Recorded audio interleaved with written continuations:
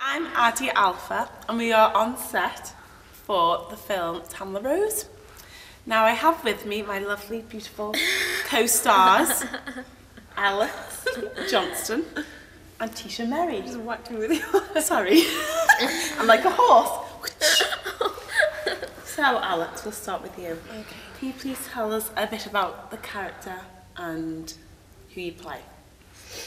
Can I have the microphone? Yes, you can, darling. I play the part of Lily, and she's your best friend. This is Tamla, by the way. Um, and can see right through this one over here. Um, and it's really just Oh, got don't Tamla's back throughout the whole film. And it's just a bit of a support system for you, isn't she? Yes. Oh, and she ends up getting married. She's a nice does. girl deep down, but she's got a fiery temper. Oh, Tisha, can you tell us about your character? Well, And who you play? clearly the best. Um, she's Candy Shim. Um, she's kind of a loner, isn't she? She's not part of your little clique. She does her own No. thing, wants to go to uni, and then she's like, no, I'm going to ruin this group. She kind of steps on She's a little steps on a few one. men along the way to get where she wants Yeah. to. Mm. Slutty, Um, slutty Joe over here. well, what can I say? Look at me. No, I'm joking. Um, and then she goes off to set off her own career, steals your name. Oh, do you? Yeah, because it's Candy and Oh, the yeah. roses, Tamla roses, so she kind of like.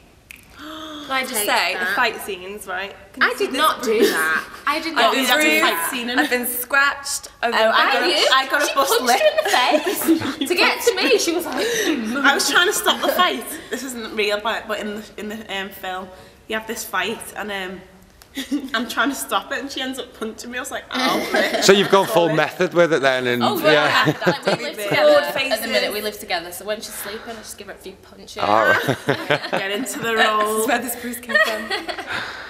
Yes. What do you do? Oh, Gotta go. This Been is called. It's acting, guys. Um, goodbye, my love. There we go. I play Tamla Rose Miller, who is the lead role. I said yes, I said lead. Awkward. So anyway, basically it follows the Tamla story from a dream of being a singer, like from a young age. That's all she's wanted. She hates school. She's not very good at it. It bores her. Blah blah blah. Um, and then she gets this opportunity, this opportunity to um, audition for the backing singers for Shane Hunter. He was over there, Errol over there. Um, So she convinces our Lily to do it with her. But they need three, so then we managed to convince Candy as well, who Tisha plays.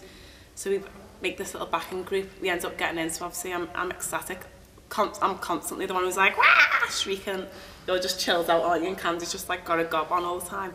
But we, we end up going on tour with Shane, and then we end up being established on our own, which is amazing, obviously, for Tamla, because that's all she's ever wanted. And um, and then we hit this point where Candy becomes dead scheming and conniving. She stabs us in the back, ends up going on this big whirlwind career. You end up getting married and leaving me, and I just end up getting turned into an alcoholic. it's not very nice for me.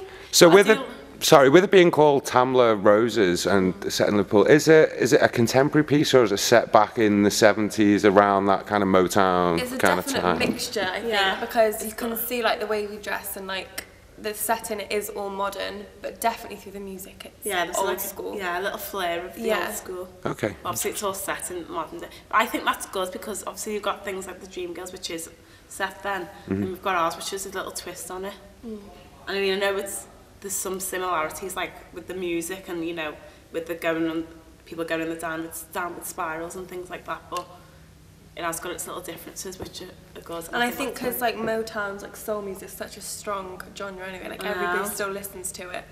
Yeah, so it exactly. fits because I still listen. My favorite song is My Girl, so I still listen to that type of and there's music. loads so of it's influences easy, yeah. as well, isn't there? Like Yeah. the modern day music is influenced by it, I think. Mm. Cool. Like Bruno Mars, how he performs, Yeah. he always does like 60s like type things. Yeah, So I think I swag. think it's cool.